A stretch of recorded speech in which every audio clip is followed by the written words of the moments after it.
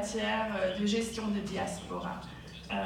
D'ailleurs, je, pense que je peux me permettre de le dire, on est très très impressionné par rapport aux efforts qui ont été déployés par le gouvernement, marocain pardon, en cette matière. Je pense que vous le savez qu'il y a à peu près 5 millions de Marocains qui résident à l'étranger. D'ailleurs, on parle souvent de la 13e région.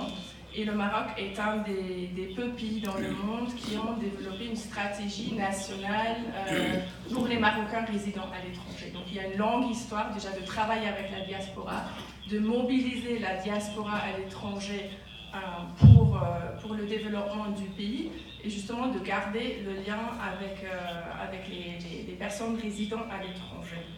En tant que GIZ, on est, on fiers, on est content de travailler avec des fonds du, gouvernement allemand, du BMZ, déjà depuis de nombreuses années avec le ministère sur, sur cette question.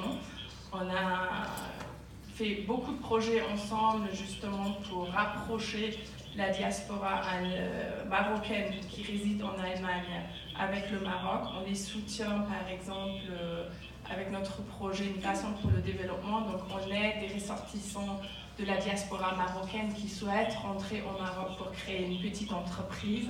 Donc on les accompagne, on les soutient. Euh, il y a également aussi des, projets de, développement qui sont mis en œuvre par la diaspora marocaine qui réside en Allemagne. Et donc je pense qu'on a une longue histoire, une longue amitié, une longue coopération qui, qui a déjà montré ses fruits. Euh, maintenant, aussi qu'il faut dire qu'on est à un moment où il y a plusieurs, euh, plusieurs choses importantes. Euh, Khalid a déjà mentionné, il y a le Global Compact qui va être voté dans deux jours.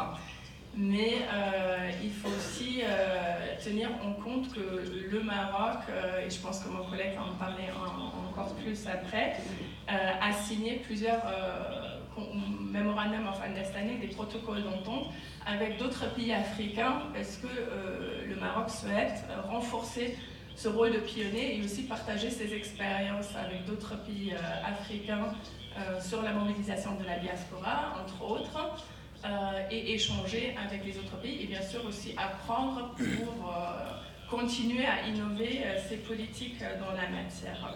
Et également